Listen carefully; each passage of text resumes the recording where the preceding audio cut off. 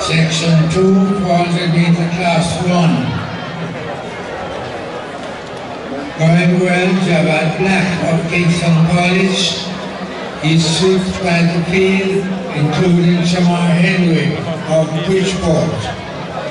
Also well, their share of Wilmers, but it is for the moment Kingston College's Javad Black who is doing the early running as he comes now into the straight with 100 meters to go.